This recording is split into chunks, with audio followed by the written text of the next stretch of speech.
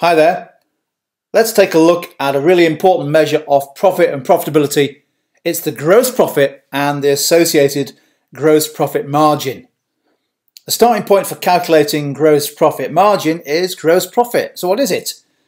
Well, it's the difference between the sales, the revenues that we earn, and the specific costs of those sales revenues, the so-called cost of goods sold.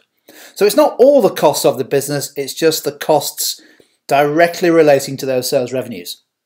So for example, if we had sales revenues of say £400,000 and the cost of those sales was £150,000, then the gross profit is simply the difference between sales revenue and cost of sales. So £400,000 less £150,000 gives us a gross profit of £250,000. That's not the total profit of the business because we need to take off other costs such as overheads, but it's a really important measure of profitability. What's the gross profit margin then? Well, the gross profit margin is expressed as a percentage, and the formula is the gross profit number divided by the sales revenue number. And we get both of those two pieces of data from the income statement. Sales revenue, the total value of sales, Gross profit, which as we've seen is sales revenue less cost of sales.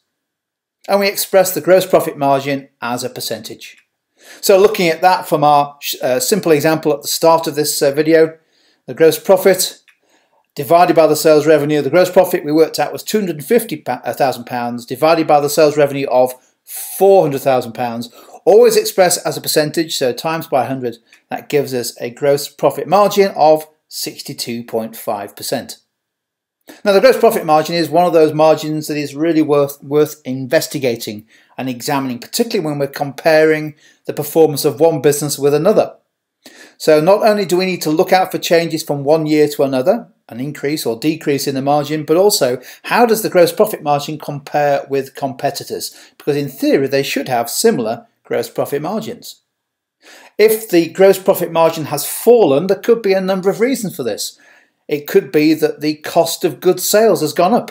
Perhaps suppliers are charging us a higher price. That could be connected, for example, to a change in exchange rates. Or it could be that we've decided or we've been forced to sell at lower prices, thereby reducing the gross profit margin. It could also be that on average we've sold more low margin products compared with high margin products. So a change in gross profit margin could often be associated with a change in the mix the types of products that we're selling. If we see an increase in the gross profit margin, it can often be the reverse, can't it? It could be that we've been buying better from our suppliers. We've maybe been able to negotiate a cost reduction on the cost of goods that we buy from them. Or perhaps that we've been able to achieve an increase in selling prices with our customers without necessarily uh, suffering an increase in costs. Okay, there we go. That's just a very brief introduction to how we calculate gross profit and the associated ratio, the gross profit margin.